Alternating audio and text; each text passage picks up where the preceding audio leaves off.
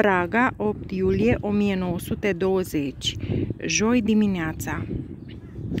Strada este zgomotoasă și undeva, vis-a-vis, -vis, cam într-o parte, se construiește ceva.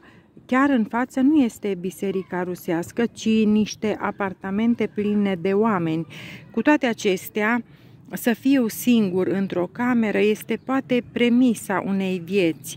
Să fiu singur într-un apartament este o, ca să fiu exact, temporară condiție prealabilă a fericirii.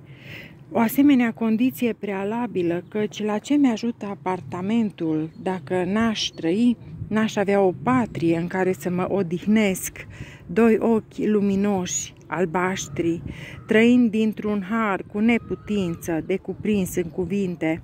Așa însă, apartamentul acesta face și el parte din fericire. Totul e liniștit și camera de baie, bucătăria, antecamera, celelalte trei camere, nu ca în apartamentele în comun ale acestei larme, acest desfrâu, această împerechere nestatornică a trupurilor de mult nestăpânite de gânduri și dorințe, unde în toate ungherele, printre orice mobile, în relații nepermise, între lucruri nepotrivite, întâmplătoare, se nasc copii nelegitimi și unde mereu se întâmplă ceva, nu ca în cartierele tale mărginașe, pustii, duminica, liniștite, ci ca în periferiile sălbăticite, preaglomerate, agitate, până îți pierzi respirația în câte o interminabilă seară de sâmbătă.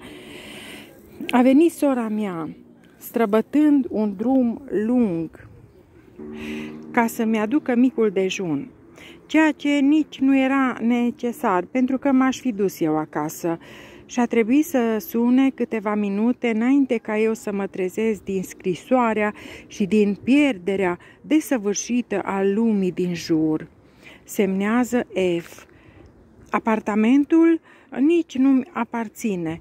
Adesea, în timpul verii, va locui aici și cumnatul meu.